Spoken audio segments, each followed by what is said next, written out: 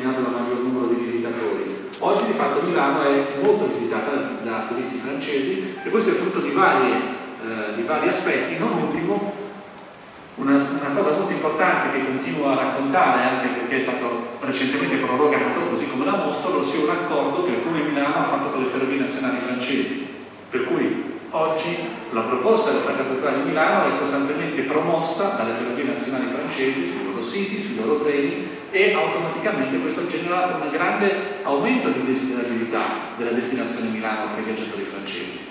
Analogamente abbiamo a pochissimo concluso un accordo con le ferrovie nazionali svizzere e anche da questo punto di vista credo che registreremo in futuro un forte incremento di turisti e visitatori dalla Svizzera proprio eh, in virtù di questi accordi che tra l'altro sottolineo è la prima volta che vengono fatti da un'autorità locale come un comune con invece un'autorità nazionale come le rispettive ferrovie.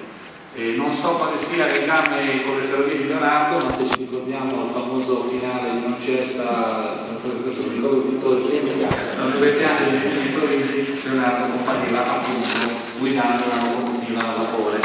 Testimoniando in quel film, che era ovviamente un film di pure evasione e molto divertente, però un aspetto secondo me interessante che va un po' messo in relazione con quanto abbiamo ascoltato oggi è sì vero che c'è un'attitudine, come si può dire, pressoché costante a leggere l'esperienza di Leonardo quasi esclusivamente come un'esperienza artistica, invece è evidente che tutto l'aspetto di studio, di attenzione rispetto alla realtà e alla scienza era molto forte nella sua, nella sua esperienza quotidiana. Ma anche il, la lettura di Leonardo come un precursore, come un inventore, che è messa in discussione, come vediamo anche dalla grande eh, dalle grandi documentazioni che è stata oggi portata a suffragio di questa tesi, risente anche, risente dicevo invece della eh, sottovalutazione di quanto Leonardo sia stato capace di farsi influenzare da eh, correnti di pensiero, studi, ricerche, progetti che erano a lui contemporanei o addirittura a lui molto, molto precedenti. Devo dire che eh, questo aspetto è un aspetto, come si può dire, in costante evoluzione, in costante ricerca, in costante come è chiaro in questi casi messa in discussione. Credo che il 2019 potrà essere un punto importante di confronto e di dialogo su questo tema, laddove nel 50 anniversario della morte di Leonardo eh, si svilupperanno una serie di iniziative, dove ovviamente la nostra città sarà capitale, proprio di ulteriore sviluppo della ricerca e del dibattito pubblico attorno a questa figura. Certo è che c'è una caratteristica che è fondamentale, che non è stata richiamata prima, ma a cui sono molto affezionato, ovvero sia il fatto che a Milano Leonardo ha trovato l'ambiente più fertile per lo sviluppo del suo pensiero creativo. E come tutti i pensieri creativi era evidentemente fortemente influenzato da altre fonti, da altre sorgenti e da altre esperienze ma che proprio a Milano ha trovato delle condizioni che secondo me caratterizzano fortemente l'identità di questa città la, il, momento più, il, momento migliore e la situazione più fertile appunto per l'esplosione di un genio creativo e di un pensiero creativo che ha saputo prodursi tanto nella progettazione di macchine militari quanto nella riflessione, per esempio, dello sviluppo urbanistico della città, in cui l'apporto di Leonardo è stato fondamentale, tanto evidentemente quanto anche nella sua creatività artistica che non dobbiamo mai né dimenticare né disprezzare, perché di fatto poi eh, il cenacolo vinciano è eh, uno di quei grandi capolavori che costituiscono davvero non soltanto un forte motivo di identità del patrimonio della nostra città, ma anche un'opera uh, straordinariamente potente dal punto di vista dell'immaginario che è sempre stata e continuamente è in grado di generare. Come poteva essere l'ultima cena all'epoca di Leonardo, cioè appena Leonardo aveva terminato. E, e questo è un complemento interessante e importante alla visita dell'originale, oltre al fatto che abbiamo un'esperienza in realtà virtuale che consente di eh, esplorare la, la sala dell'ultima cena come poteva essere nel, nel 1500. Proprio collegato all'ultima cena, chiamo un attimo sul palco eh, Leonardo Milano, che ci parlerà, perché lui, Leonardo Milano, ci parlerà dell'esperienza dell'ultima cena eh, vivente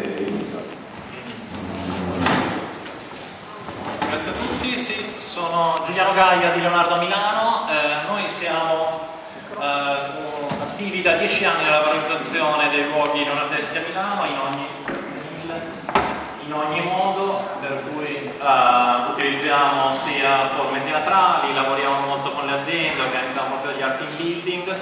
Ci troviamo molto bene a collaborare con gli amici di Leonardo 3 con cui collaboriamo ormai da tre anni, uh, proprio perché siamo tutti nerd di Leonardo, chiamiamo Leo Nerd uh, tra di noi, e uh, ammiriamo tantissimo tutti gli aspetti di Leonardo e proprio per cui Cenacolo. Cosa sta alla base dell'esperienza Cenacolo? Detto se faccio imparo.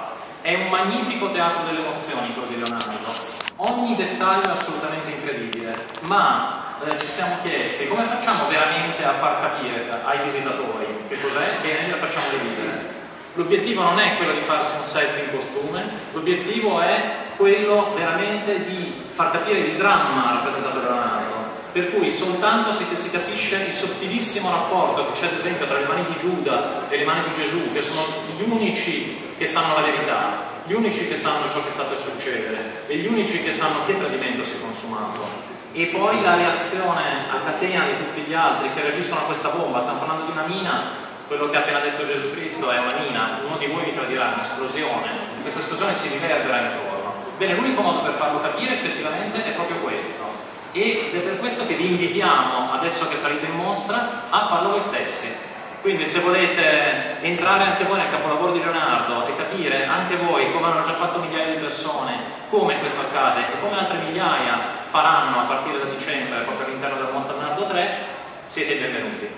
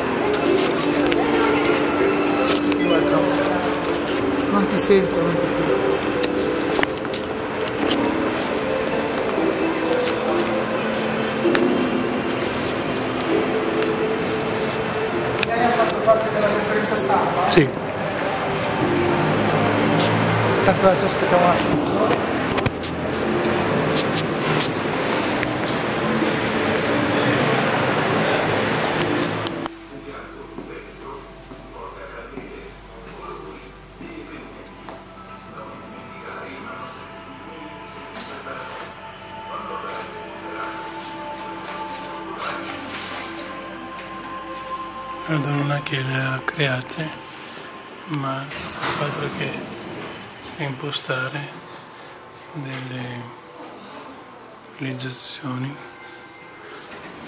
già inventate da contemporanei dai suoi predecessori.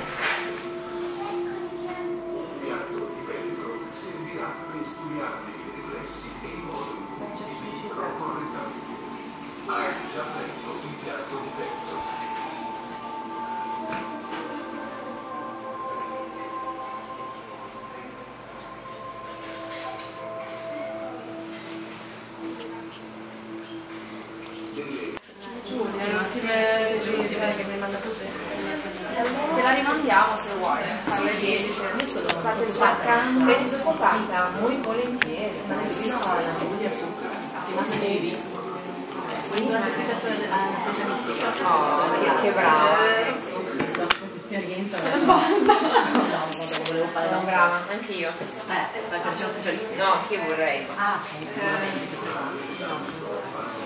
no. No, di notte non dormo. Eh, ti vede Eh sì, no, ho dormito dalle due e mezza alle sei. sì. E mal di denti, gli ultimi denti.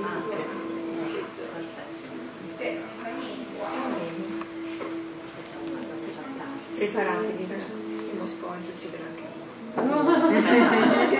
Aspetta No, non è vero, alcuni sono bravi, quelli degli altri sono sempre tutti super bravi, vero? Lo dicono tutte. Esatto, sì. Gran bel libro che costa 31,90 euro. Non lo so.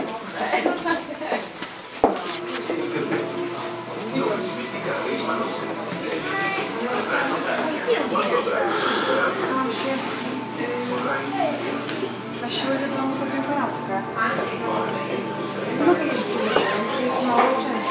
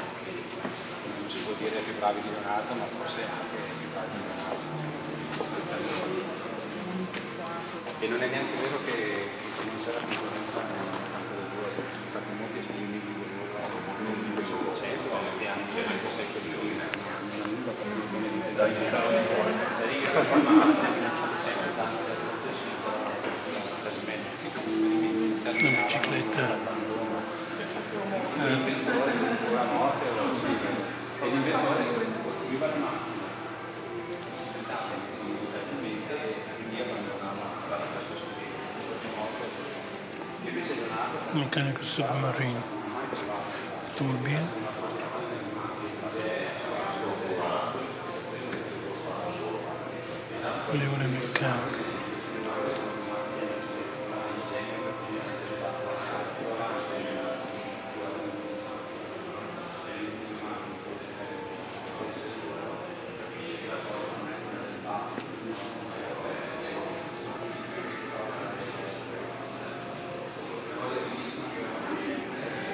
È la meccanica. Uccello filo guidato.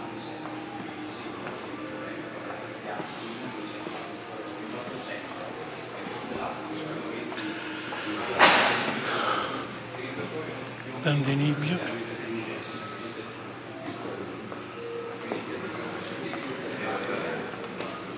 Cannone musicale, meccanico. Vitiere. l'antenato di quella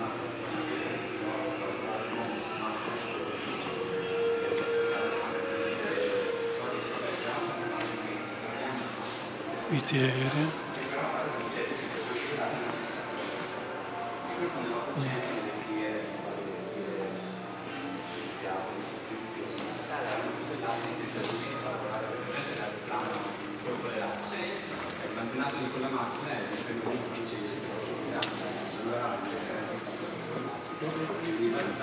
gesto Così. sono le macchine nuove. Sì, sì, sì. era l'oggetto più pesante dell'aria che volava, ma sempre però non giocava. Questo Leonardo lo faceva 300-400 anni prima. Lo stesso Lilienthal che volò nella, nella metà dell'Ottocento, che è il primo, i primi uomo a volare non sono stati i fratelli Wright, è stato i fratelli Wright nel 1900 con un variante con il motore. Ma prima dei fratelli Wright, questa è una cosa che racconto sempre, volò Otto Lilienthal con delle macchine costruite esattamente come quelle che vediamo in mostra. Anche Otto Lilienthal,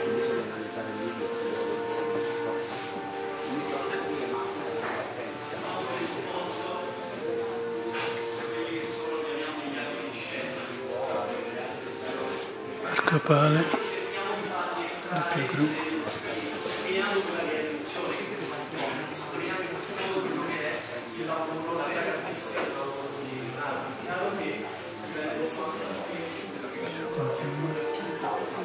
Città ideale. Flauti glissati, sì.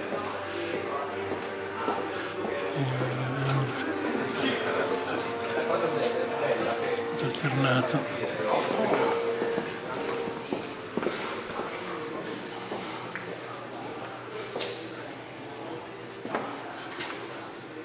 The embellishments along the neckline of the lady's garment were painted with a very fine tipped brush and golden highlights in the center to make them appear more three dimensional. The design of the weave is the same as that in other paintings by Leonardo.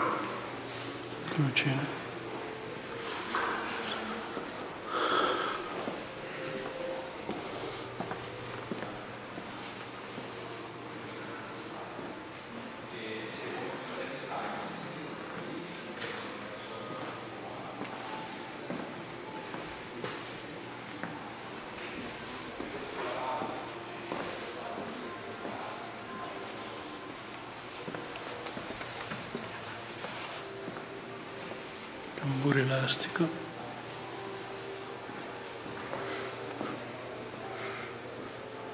E argento,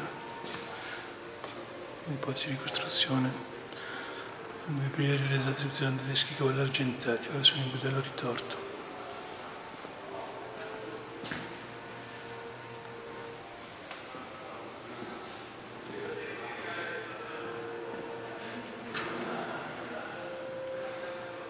parlante però sembra che non sia alto.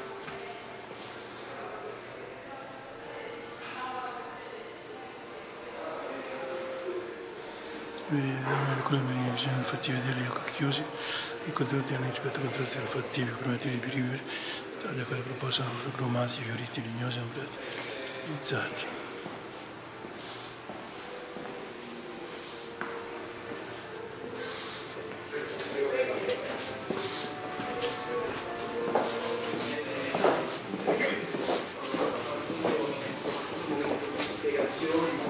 perché niente di casuale nell'opera di Leonardo. Qui c'è sempre un narratore di Leonardo Milano che guida posizionamento che la fase di realizzazione, controlla che siano posizionati in una maniera più appropriata possibile. Scusa Pietro, c'è stato un gruppo, eh, se volete anche voi per fare l'esperienza. Allora prego, accomodatevi. Accomodatevi, venite avanti, non abbiate paura. Non fa male, non morde. Nonostante il mantello vi assicuro che non sono particolarmente pericolosi. Benvenuti. Vi invito appunto a liberarvi di borse, giacche, e tutto quello che può un attimo essere di.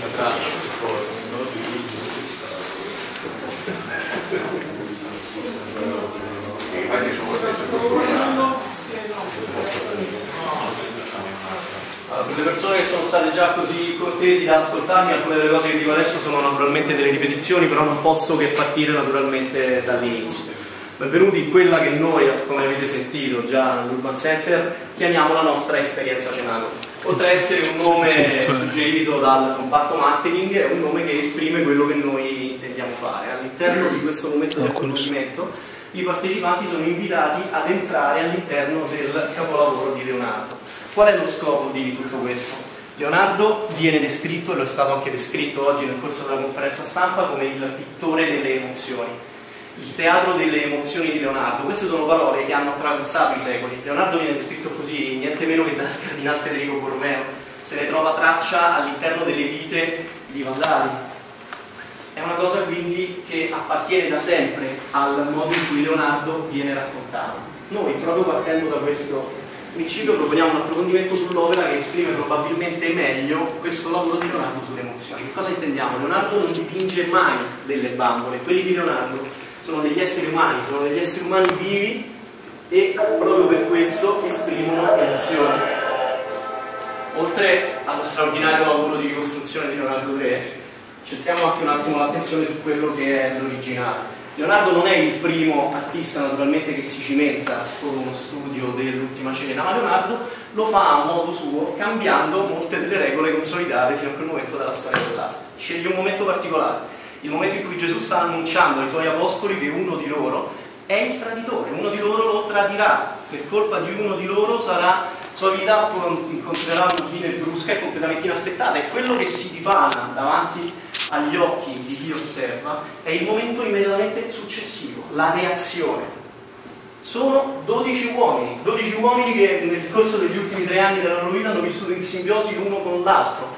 E adesso il loro maestro, quello che loro stanno seguendo, in cui loro hanno riposto tutte le loro speranze, gli ha appena annunciato che non sono 12 veramente fratelli, ma uno di loro è il peggior traditore che sia mai esistito sulla faccia della terra. E Leonardo ci propone il momento in cui reagiscono a questa incredibile rivelazione. Sono 12 uomini diversi ed essendo 12 uomini diversi reagiscono ognuno in maniera diversa. Leonardo cerca un effetto di realismo che sconfina nel maniacale. Pensate all'ultima volta in cui siete stati a una tavolata con degli amici, tante persone che parlano, rumore, questo succede normalmente. Quanto più lontano sei dalla persona che sta parlando in quel momento, meno bene la senti. Leonardo cerca la verosimiglianza anche in questo. Allora vedete che le reazioni di quelli che sono immediatamente al suo fianco tendono a essere molto più violente di quelle di coloro che sono all'estremità del tavolo. Qui ci si chiede, è come se ci si chiedesse, ma abbiamo sentito bene? Ma è possibile? Leonardo prende la descrizione degli apostoli dalla Bibbia per quanto gli è possibile e attorno ai loro caratteri costruisce delle reazioni verosimili uno dei più celebri, San Pietro, l'uomo facile all'ira, quello che staccherà un orecchio al soldato romano con la spada. Pietro scatta, ha già il coltello in mano ed è pronto per colpire. Uomini diventeranno santi, entreranno in vita una grandiosa religione, ma in questo momento sono uomini. Leonardo li dipinge come tali e noi cerchiamo di far vivere l'esperienza cenacolo basandoci su questo principio. Io posso usare tutte le parole più eleganti del mondo per esprimervi questo concetto, ma niente sostituirà mai il tentativo, se scegliete di farlo, di entrare nella pelle di questi uomini ed esprimere, ed esprimere queste stesse emozioni. Proprio perché le parole non possono mai sostituire l'esperienza diretta, io direi che la faccio anche finita con questa introduzione verbosa, ve ne do una dimostrazione. Cominciare ho bisogno di un Gesù. Io giustamente programmata. Giuda prende posto alla destra di Gesù, leggermente spostato. Eh sì, eh sì. Dai, sì, Qual è il contegno di Giuda? Fateci caso. È lui che ha Giovanni, C'ha la borsa in mano. Giuda ha la borsa in mano, esattamente. Con la mano sinistra prende i denari d'argento, frutto del tradimento. Mano destra. Mano destra. Scusi Giuda. Non sì. Bisogna far vedere bene la faccia sorpresa, perfetto. Con la mano sinistra fa lo stesso movimento che sta facendo Gesù con la destra, come se afferrasse il pane. Tutti e due vogliono dare al pane. Perché questo? Un momento ancora successivo, quando, si quando viene chiesto a Gesù, Maestro, dici chi è il traditore, Gesù risponde, è colui che spezza il pane con me. E Giuda se si trova doppiamente incastrato, ma questo Leonardo ce lo fa soltanto intravedere. Un foglio del E passiamo alla descrizione del nostro buon Pietro.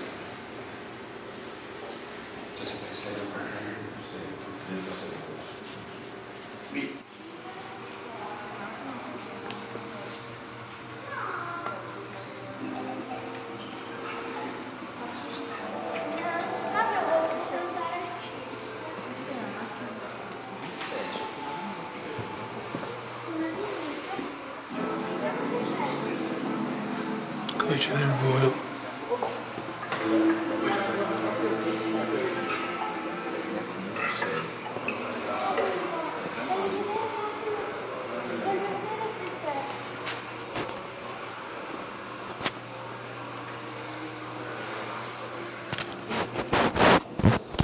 Abbiamo visto la mostra, questa mostra con incluse le biciclette volanti.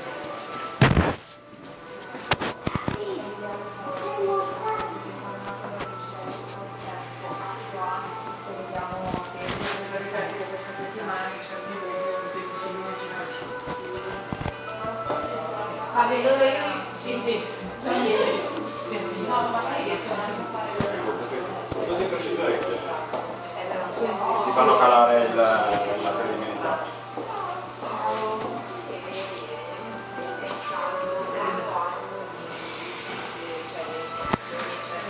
Sono venuti sul partecipati, dopo che grazie ai soldatori di un castello potevano sedere per impressionare i sorrisi da lontano scambiando i poveri soldati, per dare un effetto scenico.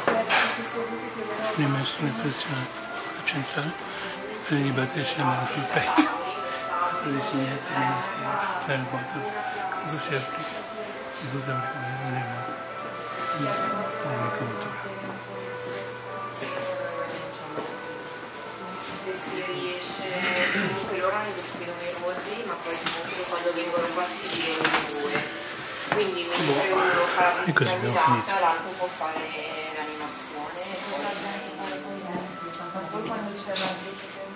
Ciao, grazie. Ciao.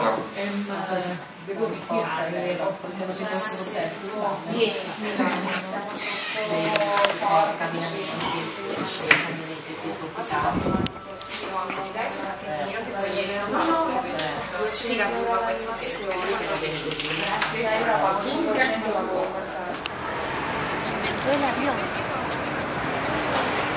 Sento un po' Marco del Giono.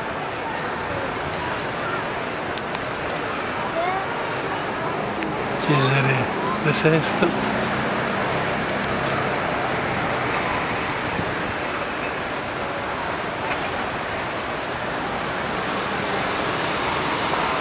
Andrea Salaino.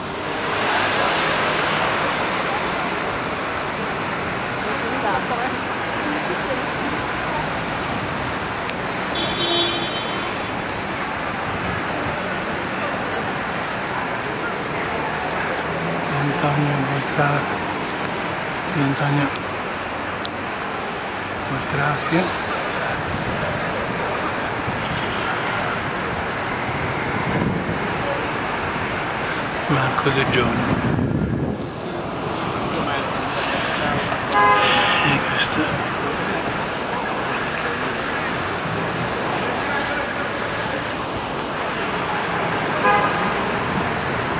conclusivo della conferenza del mondo di Leonardo.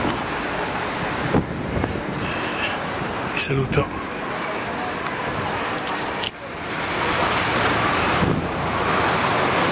La mettono qui fissa solo temporaneamente, la, di ricordi? Temporaneamente una cosa del genere. Ah, dice? Non ho capito. Ah, grazie.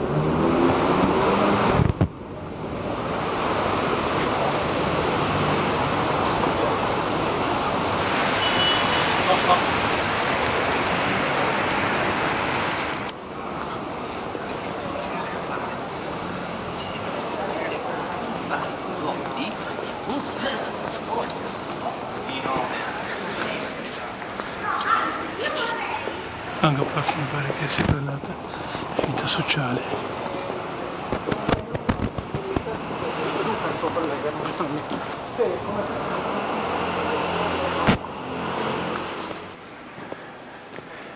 Studi sociali.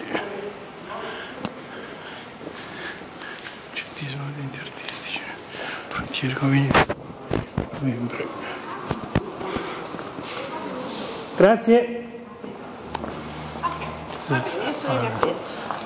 Guarda c'era Selena Selena della, da Olivetti istituto istituto nazionale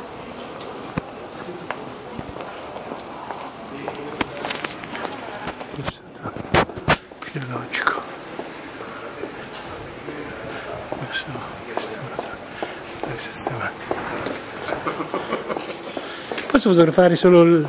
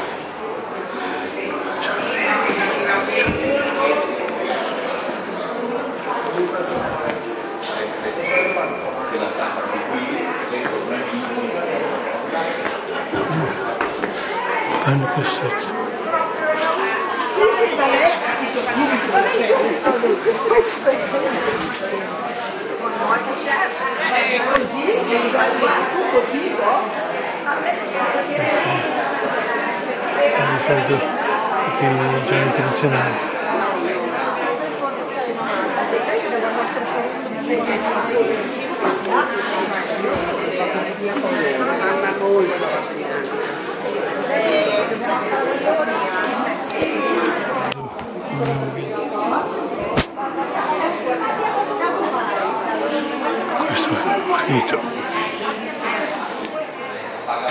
Che benefica San Vincenzo de Paoli.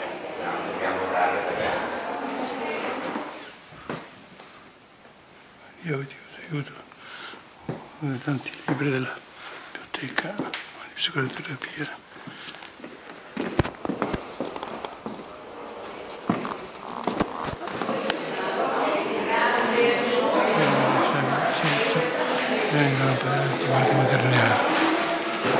Immobili come presidente.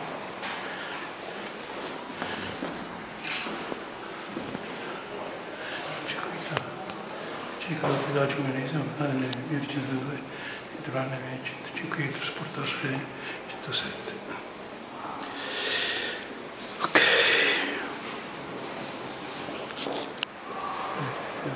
Cammino per natalizio, umano con la tua vita. Finisce.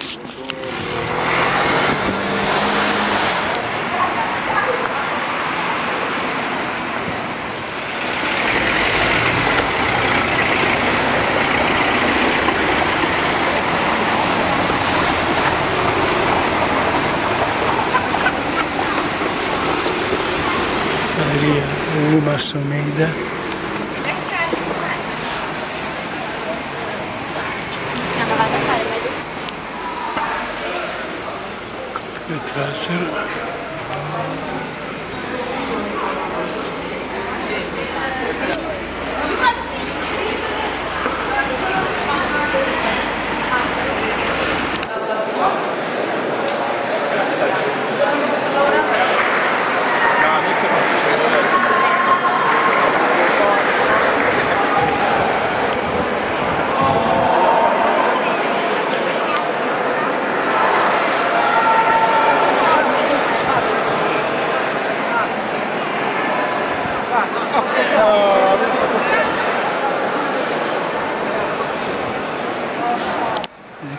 Che compiglio.